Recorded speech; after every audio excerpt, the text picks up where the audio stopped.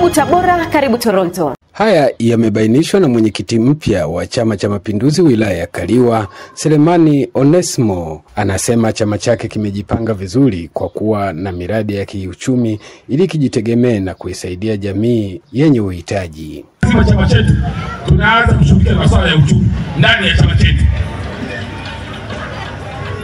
na hatua tumeshaanza kushughulikia nazo ambazo tunaamini baada ya miaka miwili chama chetu kitakuwa na fedha kutosha. Tunaanzisha mradi wa Magogo, tunaanzisha mradi wa kuchimba chokaa.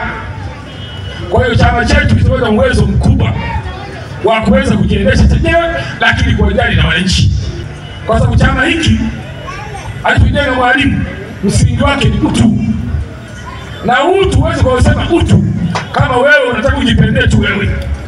Sanjali na hayo, mwenyekiti Selemani Onesimo anasema mbali na kutenga muda wa kusikiliza kero za wananchi, pia atapokea ushauri kuhusu uchumi, lengo likiwa ni maendeleo kwa wilaya ya Kaliwa. Ndio maana nimesema sio tu kwa ajili ya kero, hata kama mambo ya mawazo ya uchumi ndio tu- tu- tuzungumze, tushauriane. Tunahitaji Kaliua ibadilike, tuone Kaliwa ina majengo magorofa sasa yanapanda. Kwenye habari nilikuta leo sana, kuna madini ya shaba eh, Kaliwa inayo. Kuna madini haya wanasema kipita atomic yako hapa. Ndugu zangu, tuchangamkie fursa hii kwenye wilaya hii tuitumie kwa sababu tuna chama ambacho kimeilinda na kuilea amani. Alei Kataga na diwani wa kata ya Kaliwa Nestori Hoka wanaeleza kuwa serikali itahakikisha huduma zote muhimu zinapatikana zikiwemo za maji na umeme. ifikapo mwaka 2025 kila eneo lote, upande wa barabara, upande wa umeme, upande wa maji, kwa sababu hizo huduma zote ni za msingi kwa wananchi. Chama cha Mapinduzi kinaona na kitatekeleza kwa nguvu zake zote kupitia mama yetu, rais wetu, mwenyekiti wa Chama cha Mapinduzi Taifa, mama yetu mpendwa Samia Suluhu Hassan.